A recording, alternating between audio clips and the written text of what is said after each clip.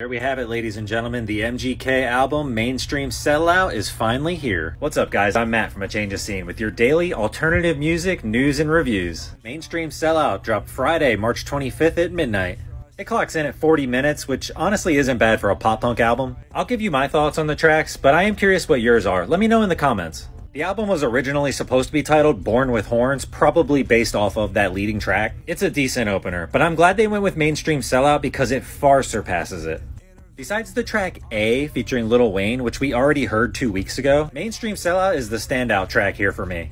It's got a lot of energy and a lot of self-awareness from MGK. No icon,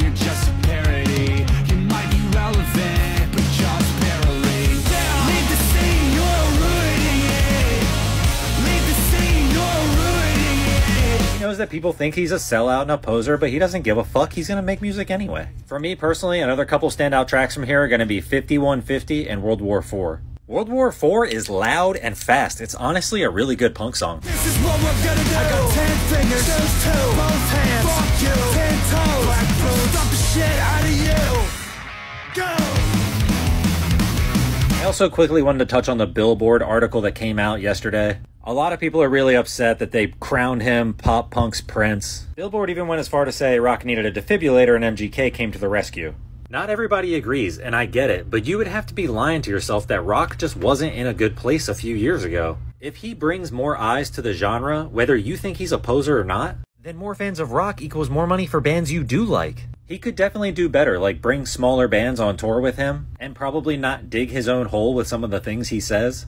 But the guy is self aware, and he opened up a lot in this article in this video. it kills like certain bands in, in that community that I got the success that I got, but I earned that shit. Dude, I was fucking loading up the van with our drums and amps in 2010, going to driving to Indiana and Chicago and all these places playing Warped Tour. It's not about switching, it's not about that, it's just about adding. This shit isn't new to me, it's true to me. I've been doing this. People's eyes were just not focused in the right direction, they were just looking this way and they just chose to look when I made it pink and I made the whole album reflect what was already happening. I'm fully with embracing the irony of all of this stuff and you know, I'll call it like it is.